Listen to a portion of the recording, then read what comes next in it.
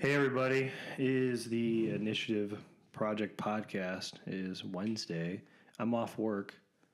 Woohoo! Yeah, great stuff. So, um, usually we start with how your week's been going or how your month, because it seems like we haven't talked in almost a month.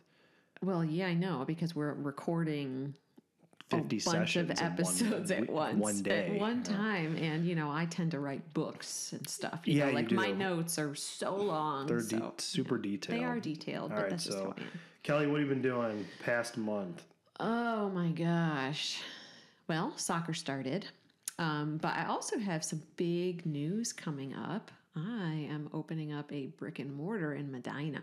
So, what, what a brick and mortar what? Well, I'm not going to say anything yet because it's like not a done deal. Oh, okay, so you can tell me off it- air. Yes, I will tell you off Yes. air, but we're going to be talking a little bit more about this uh, in future podcasts because I'm so super excited. so, what is it? Is it going to be in Medina? yes, Oh, okay, that's Yes. good. Cool. it's going to be on the square. Oh, Yeah. Okay, so there's only so many buildings that are vacant, so I can kind of figure out. No, not really. All right. How so, about you? Oh, uh, well, I started a new job, quit my old job, and it's fantastic. I got today off for a Jewish holiday. Yom Kippur was started last night, so What what is? I mean, can you explain Yom Kippur? Because I mean, honestly, I have no So- clue, and a lot of people don't about Jewish holidays. Yeah, it's like the beginning of the new year. Um, you um, you fast for 24 hours. So from last night to tonight, you fast, and it's more of like reflection time So you haven't eaten anything? since yesterday. Okay. So like last night, like after dinner. Okay. At like six, I think. But yeah, you don't eat for 24 hours, and you just kind of reflect on the past year. You know, what sins have you committed? You know, what do you need to repent of? Stuff like that. So Do you actually take the time to Yeah. time out to do that? Yeah, we we you have a we had a service last night. Um, we didn't get home until almost nine, and um, so you do that. You have like readings and stuff, but it's more of like a reflective time. Right. But it's good, um, you know, because I have a day off, which is awesome. But it's you know it's not just time to just have a day off. It's more reflection and everything else. So. But besides that, um, started a new job. It's going really well. It's only been two weeks, um, so who knows what's going to happen. But very motivated to uh, kick things off there right, and um, you know help my my rabbi because he actually owns a company to uh, destroy people in his industry by taking all their business. Sweet. That's my goal. Sweet. All right, so with Halloween coming up, and I do not celebrate Halloween. Do you celebrate Halloween? Well, you can't even trick or treat around here. I mean, uh, I don't know. Halloween's not like a, a religious holiday. No, or I'm just anything, saying, so, I like, do you go but- out and do that stuff? Well, or- yeah. I mean, so when your kiddo gets older, are you guys? You're not going to do Halloween at No, all. yeah, I haven't done it since I was. Why though? Do you have like a, a reason why you won't We do it? Uh, it's just like kind of like demonic and stuff, and there's like a bunch of like weird. If you if you notice like around Halloween, people get like really crazy. Like there's people like animal shelters from I don't know if this is hearsay or not. They will not give out black cats during that Oh, time. I, yeah, I've heard that because before. people are like sacrificing Yeah. cats and doing like weird shit. So I mean, there's all there's weird people that And, do um, stuff all the time, but and it's just like the symbology about like behind it and we're Yeah. and we I've I did it one time in grade school years ago. That was before I even I think I was like 5 or 6 and I dressed up as Batman and that was the last time I remember doing anything. okay. Um, and then now we just there's nothing there's no there's only bad things behind it that, you know, from my my perspective. Obviously, we have different perspective. Well, but I I, just don't there's nothing nothing good comes from that. I mean, people are just people are crazy. Oh, I know they are. And it's just like, do I want to go out and, you know, do that and be exposed to that? Not really, you know. I respect that you know you are actually you actually follow your religion and uh, you know you um, I mean you go to church you you actually believe in it and you you follow it. I'm not a religious person and so I see Halloween as uh, more of a, a cultural thing um, that you know American Sure. kids tend to do and so. Um, so yeah, no, we we do the Halloween thing. The kid gets dressed up and whatever, and, and we go out and we beg for candy door to door. Yeah, but you got you got to like walk a country mile to get to one house. well, we don't do it here. Yeah. We go up to Brook Park Oh, that's with smart. Well, grandma. that's yes. smart. That's the, the houses are close together. Nobody, you don't, uh, there's no trick or treating here. So, like, we don't get people. Yeah, like Which- where where we lived in Spencer, we did, but Did you? We just had Okay. a light off, and you just don't go there. So. Yeah, exactly. Exactly. So, So yeah, with Halloween coming up, you know, there's death by sugar because that's what we're going to cover today. And Kelly's going to Oh, my gosh. storm off the set. I am gonna, I'm gonna freak stab out here in a second. So Because the notes I'm looking at saying that sugar can be as addictive as cocaine, and, and I have some stuff to say about that's good this. because this is a discussion. That's right. And it I just I just pulled this off the internet and I'm like, okay, this looks good. We're going to talk about that. That's fine. So sugar can be as addictive as cocaine. Now, as far as addictive quality, I don't know. It's probably I don't know. Like I'm addicted to monsters, and I've I have uh, two days clean. Two days. Yeah. Oh. Two days. Oh, So you're wait- talking about the drink, monster drinks. Yeah, yeah, okay, yeah, okay, Not okay, like okay. monsters. Like I go Right. and hunt them. Yeah, like uh, what's that? That I thought maybe a video game or something. No. Okay. Well, yeah, there, is no, a, there is a movie. There is a video game called that. like, what in the heck is he talking yeah, about? Yeah. So like, I mean, anything can be addictive, right? Yes. So, here's here's the deal. There has got to be a difference between cocaine and sugar because if sugar were as addictive as cocaine, first of all, Mm-hmm. everybody would be addicted to sugar. she's speaking from experience. Are you not? Cocaine? user? No, I'm not speaking. but here's what I understand about things like heroin and cocaine. If you try it one time, you're pretty much addicted to it. Oh yeah. So there's some difference in how cocaine affects the brain versus sugar because not everybody is addicted to sugar. And I think it might because we actually I can't remember what I took. Something in college or something. Who knows? There, people are actually predispossessed, or if like your your mother is an alcoholic or your father an alcoholic, you're more likely to be an alcoholic. That's true. There's a genetic component to it, um, for sure. I- I- you know, addiction runs in families. So whether it's genetic or whether it's a learned uh, trait, you know, nature versus nurture, it's probably a little bit of both. right. But still, you know, to, to call sugar as addictive as cocaine is really, and I think it takes the power away from people who believe they are addicted to food or addicted to sugar. And and I'm going to be honest, I know I'm going to piss some people off here by saying that sugar is not addictive and it's not as addictive as cocaine.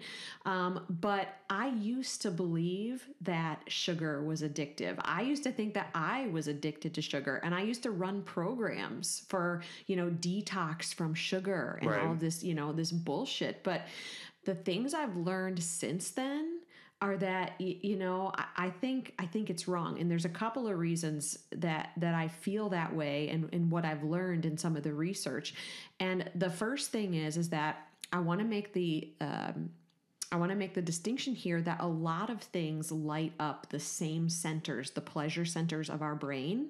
So, for example, looking at photos of your own child, your baby, it lights up that same pleasure center as cocaine. Oh, okay. Um, So that's probably where they're getting that as addictive. Yes, cocaine. it lights up the pleasure center of the brain, so which is also what cocaine lights up.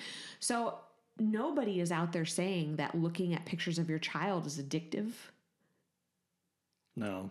So again, there's a lot when you go outside and you play sports or you laugh with somebody or you hug somebody or you have sex, it lights up the same pleasure centers in your brain as cocaine or heroin or these addictive drugs. So there's got to be a difference because again, most people are not addicted to looking at pictures of their babies or um, or you know going outside and running around and playing a sport or you know you, Yeah. you just don't hear about stuff like that. No, no, not really. The other thing that I find really interesting in the research, and I heard this through someone through someone else, so I've been taking this intuitive eating uh, these courses to be certified as Yep. a as a pro instructor. Um, and she has sent us, uh, those of us in the class, a whole bunch of research studies. And I'll be honest, I have not read through them all because it's, Are they like pretty in depth? yeah, I mean, it's, she sends the entire research study. So all the way from the abstract, all the way through the methodology. Oh, yeah. they're very hard to read. Yeah, it sounds boring. But of all of the stuff she sent me, what I've noticed the most about the studies in rats and humans that are quote unquote addicted to food or addicted to sugar, the rats and the humans that are shown to be addictive were um, they're food restricted. Okay. So she what she, the point that she makes in her class is I want to know why is the control group of rats not addicted to sugar? Why are they not binging on sugar? Turns out because they're not food restricted. Right. Right. So is it is it the sugar that's addictive, or is it the fact that I can't in have these it. studies, right? They're they're restricting and, and they're calorie restricted, so they're not just restricted in, sh- in sugar. Mm-hmm. They're calorie restricted, so they're hungry. So of course, when they are given sugar, they're going to experience this overcompensation, this overfeeding response. So, again, are these studies that are showing that sugar is addictive in rats and humans, are they really painting the whole picture? Or are we dealing with people who are, are dieting and trying to eliminate all sugar? And are we dealing with people who are just hungry, right. you right. know, and rats that are super hungry? So it almost it almost make it wouldn't make any sense to even do studies like that then. exactly. Exactly. It doesn't Because make if that's if that if the biggest issue is restricting that we find out, then what's the point of doing the studies? it's a an- anyways? confounding factor. Or maybe you just have okay, you know, control group can eat whatever they want, and then the other group has a choice between, you know, these sugary foods and then obviously these other choices, and let's see which one they gear and towards. here's and again so the the fact that all these studies are done in food restricted mice and rats and people is it's a confounding factor and and in my own personal life this is what I know about my own past history with sugar is that the more I tried to restrict sugar, the more I would binge on it right. and I would eat abnormal amounts. And now that I've gone through the mindful eating process and the intuitive eating process, I can eat normal amounts of sugar Yeah. and not, you know, I'm not addicted to it. I thought I was and and I never was. It was the restriction of calories and the emotional restriction of the things that I wanted to eat that caused me to overeat those things. so it's you think it's with the restriction and the mental state Yes. affecting everything. Yes, I think it's calorie restriction being a big one because if you're calorie restricted, your body's constantly sending signals, you know, to it wants you to eat. You're hungry. You're hungry, Right. and you're going to have a, an over. Uh, you're going to overcompensate by overeating, whether it's sugar or anything else. But but then I also think there's the mental emotional side of it where if you say to yourself, I can't have that, immediately it's like saying, Don't think about pink elephants. What are you thinking about right now? I don't know. Boogers. No, you have a big fat pink elephant in your brain right now. I know you do. I don't know. Well, my wife asked me, "What am I thinking about?" I'll just say nothing, and she's like, "You're lying." I'm like, "No, I'm literally have a blank, nothing." So it's just that awesome thing that men have. right. You think about nothing they lot. can just they can turn it off like a switch. It's great. It's Yeah. great. So we'll kind of go over this uh, article. You know, she'll probably stab. I'm not gonna. things, okay, so here's okay. here's the deal. I'm not saying that sugar is good for you. I just want to make the point that so many people right now think that sugar is addictive, and and it's just it's not addictive. Um, and sometimes w- the diets that we all tend to go on, and you know these crazy things that we do, I, I think make our issues worse. So, but one so what are one of the diets that restrict sugar a lot? Well, you're keto. on one Keto does. keto. I feel better Paleo. doing that than Absolutely, because if you're eating a lot of sugar, if you're eating a lot of sugar laden foods, sugar is absolutely associated with blood sugar swings. Um, you know, it can cause diabetes if you're eating too much sugar. It can, um, it causes inflammation in your body. So, like, I notice when I eat too much sugar that my joints tend to swell and they feel stiff and, and they hurt. So, sugar can definitely have uh, deleterious effects on the body. And I think we're going to sort of run through some of these. I'm I'm not denying that. Mm-hmm. I just think that you know sometimes when people try to be overly restrictive, that it, it creates more problems than it solves. So like I yes, think keto, is good. Well, well, let's put it this way: the modified is better because you can actually eat so many carbs in a day. But I think that if it Are you really in ketosis though? If you're eating, you are in your well, it depends because I mean, you're not in that. Uh, What is it called? Clinical ketosis, Right. where you can you can't eat any carbs. Right. This is modified to where Okay. you're in ketosis and you're out, but it's not to where it's more of I think to where you can eat whatever you want, but you just try to limit your carb consumption so much. So, do I really want that bowl of ice cream? And if I could eat something else, probably not. I could probably wait on that if I really want it. Or maybe I'll just, you know, budget it in for Okay. the day. So Right. it's I, I know like clinical ketosis is super strict and you can't eat over like, I don't know, like 20 grams, I think. Right. I, I don't know exactly. yeah, I think I want to say that um, It's pretty low. Yes, it's very low. I think it's got to be below 25, and for certain people, Mm-hmm. it has to be even lower. Yeah, and I think I know there's one guy on YouTube. He said he's in ketosis and he eats hundred grams a day.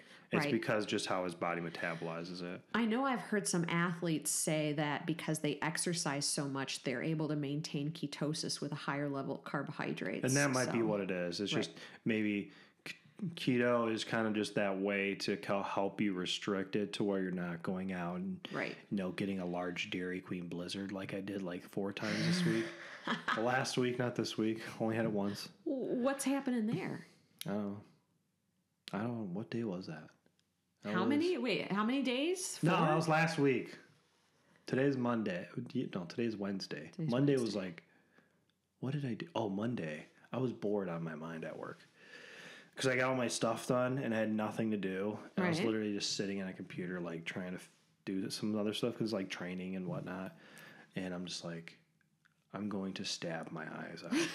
Because I'm so bored. Uh-huh. So it was just, I think it was I had like a I just had a migraine because I just wasn't busy. I wasn't doing anything. So I'm like I'm getting a blizzard, and I don't care.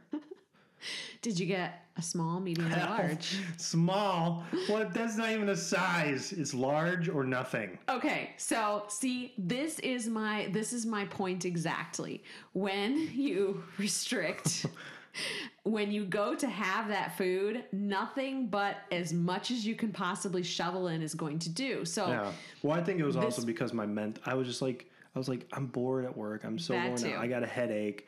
Let's had just an emotional thing going yeah, on. and then like yesterday, I was busy all day. I was fine. Today, I'll be fine. Tomorrow, I'll probably be fine. Right. So right. Right. It's just like I have to be busy at work all the time, or I'm like, my brain is like cannibalizing itself right. because I feel like I have nothing to do. All right, so tell us a little bit TJ about how sugar damages your health. Damages your body. Okay.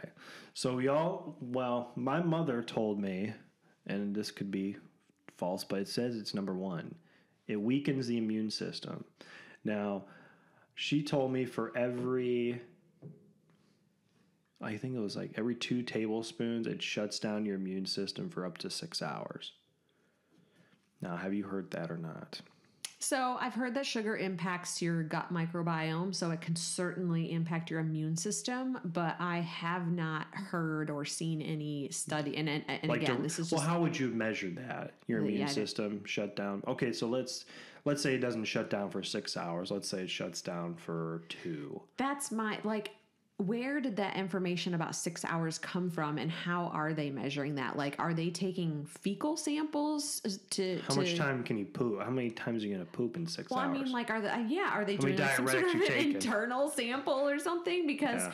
that's my only question. Unless is, they measure the white blood cell count. Right. If it goes down and it goes back up to normal. Because yeah I, I yeah I, I don't know how they would do that so i mean i'd be interested to read a study or something that showed that but i'm not i'm, I'm honestly not sure on that So one let's just say it shuts it down for like two hours because that's you know the lower end, or even an hour. right Okay. So if you're eating sugar, it shuts it down for an hour. And if you're compounding that over the day, you know, let's say every meal you're eating some type of like corn flakes or, you know, Right. lunch you're eating crap crap.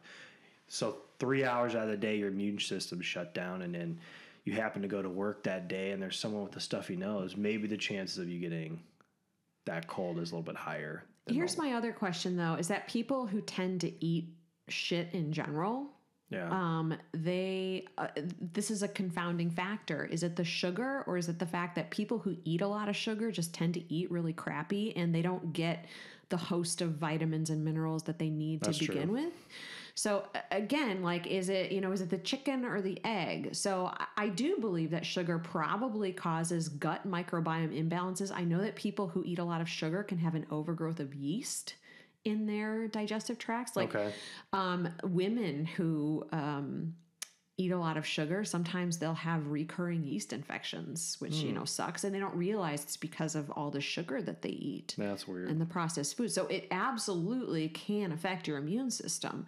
Um, but again, you know whether or not eating sh- eating some sugar during the day is going to shut down your immune system, and that's the cause for you to get more colds and flus. I, I don't know. Well, it looks like it looks like just reading this over, scanning it, it says that, like you said already about the gut microbiome. So it probably just affects with all the good bacteria that's in your in your body, Right. and it just either throws off the balance or almost eliminates them, and then that's probably where the immune system is probably affected. So that might be where they they measured it. So it Right. probably is by a bunch of poop tests or Poop something. tests. Yeah. All right. So number two, it feeds cancer. Now, I heard that the what is it? The cancer cells can eat the same thing as something other or something along those lines. I can't remember. I don't know. Don't just I just I know that there are two things that are shown to that cancer eats, right? I don't know about cancer eating, but like it says here that there are sugar receptors on cancer cells, certain types of cancer. Right. Not all types, but certain types of cancer have more of these sugar receptor cells. So, yes, I mean, theoretically, eating a lot of sugar could potentially feed cancer. So it makes it worse or maybe multiplies them. I don't- Yes. Yeah. So one of the things that has been shown in certain cancers, and I can't remember the exact, I don't know if it's breast cancer or prostate or you know some of those, but um, reducing sugar or eliminating sugar has been shown to uh, improve the odds of survival and remission, um, as well as doing things like fasting Oh, okay. can improve survival and remission. Well, that's with the the autophagy, I'm assuming, right? Yes. Yeah. Yes. so it's cellular autophagy and also basically when you are when you're fasting, you're not you're not feeding anything. Right, right, So- exactly. Okay, well that makes sense. Um, don't eat cookies if you have cancer. I right. I guess is what we're saying. So number three, it says causes premature aging. So we all know Kelly is about seventy-five. She hasn't eaten sugar.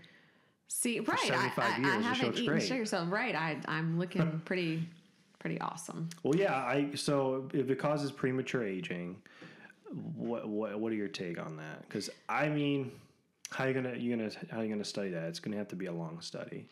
It's gonna be twenty years probably. That's years. true, and and I think uh, uh, once again, I think there's a lot of confounding factors because people who tend to eat a lot of sugar eat a lot of junk food in general, and so It's probably just all of those things like Yeah. your your body's not getting enough of the vitamins minerals and all of these micros that it needs it's not getting probably enough protein all of these things that are the building blocks of healthy skin and joints and cells. And so you know is it is it the sugar or is it this whole host of factors when you're just eating a lot of junk food that contains sugar? I would almost So- say it's just you're not getting the stuff you need. I think it's a little bit of everything. I don't think it's. I think.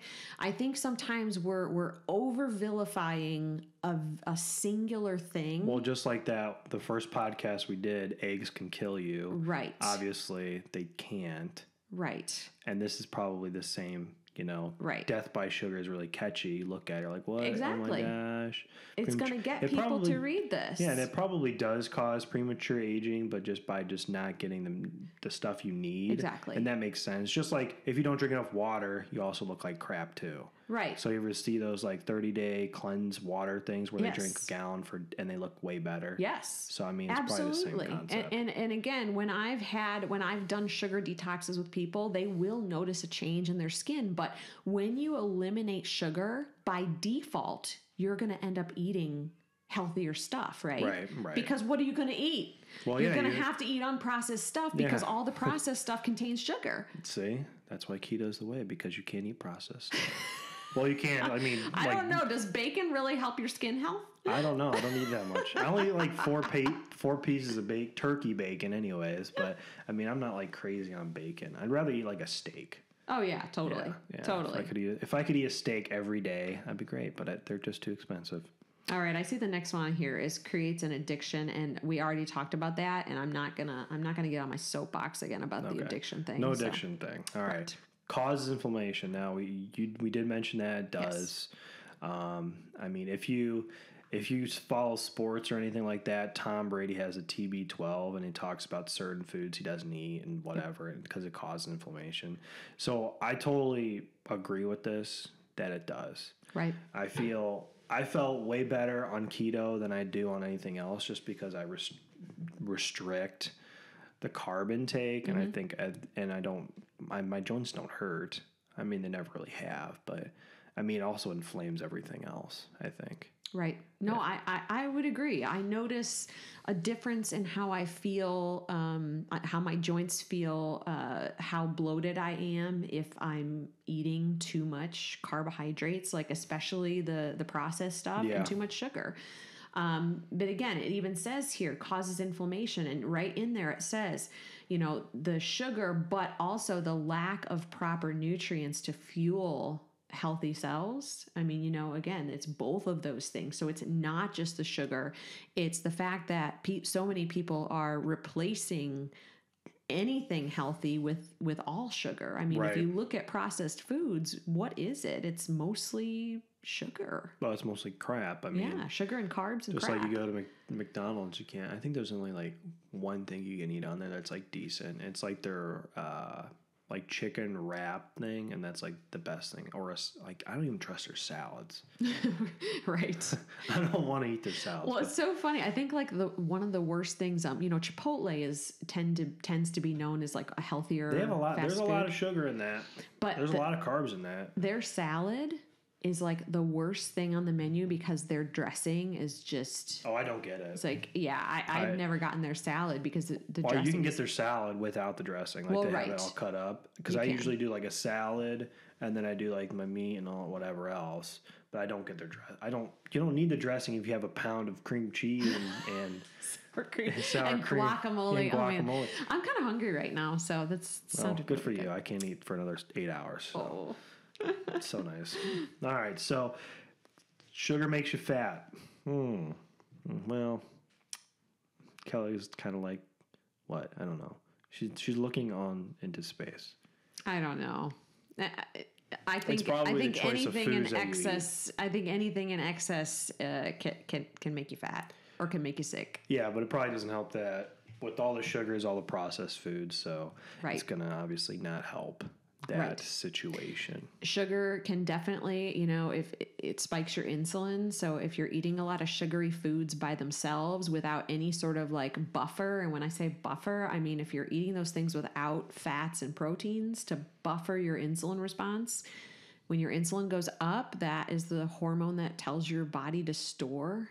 So Right. any calories you eat are going to be stored more eh, more often as Well, yeah, fat. and it also affects the insulin insulin sensitivity Right. and stuff. So Right. So sugar can absolutely cause you to gain weight faster than other things.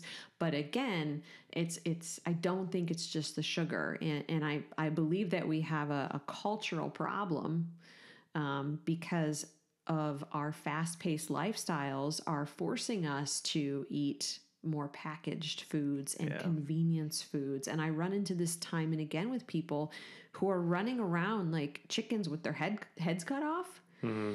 and they have no choice but to rely on those foods. Well, it's not like there's a healthy fast food place besides like Chipotle. Right. If you were to kind of call that fast food. Well, it's pretty fast. And you still have to be careful. Yeah. You know, I, you know, you you really shouldn't be eating the whole uh, the whole burrito Bowl or bowl. whatever, yeah. You know, I Oh, mean, you used to see but I mine? do. I mean, when I Mine was go a there, double wrap. It was Oh, literally, it was literally God. like this big. It was disgusting.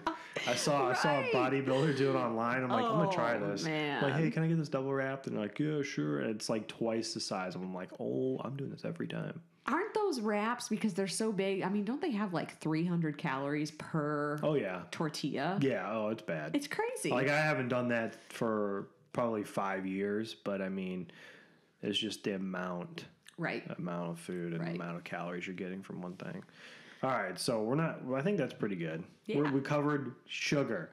Don't eat it. It's Halloween. or do right just you know Be it- sensible. you're allowed to have it but Yeah. you know start to consider like hey you know when i eat this stuff how does it make me feel and and over time just asking yourself those types of questions and and getting in touch with how those things make you feel that sometimes that's enough to say like honestly like you know you know i talk about donuts all the time right Yeah, i love donuts I, I had a feeling you're going to bring it up. So. Yes. But here's the thing donuts make me feel crappy, and I'm hungry within like an hour or two of eating a donut, and I don't like to feel that way. So, most of the time, I am choosing to fuel my body with things that are going to make it feel good. Right.